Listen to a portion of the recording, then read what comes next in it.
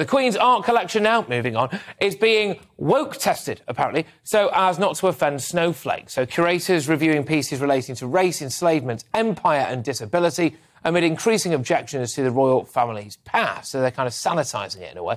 The Royal Collection Trust, which is undertaking the ongoing review, has not revealed exactly how many failed the woke test, but they include a portrait of, get this, Sir Thomas Picton, dubbed the hero of Waterloo which has had his links to the slave trade, okay, added to the description.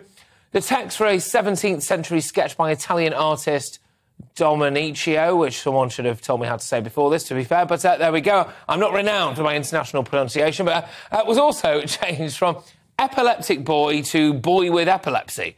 So I think epileptics everywhere will be grateful for that, will they? But uh, up to 1,500 British Empire themed photos from Edward, Prince of Wales' trip to India in 1921 have been updated to avoid causing offence, as have those from young King George V's world tour on HMS Bacchante in 1881. Well, you may say now, of course, that, that this is all a bit ridiculous, and I personally think it is, but make sure that you get in touch.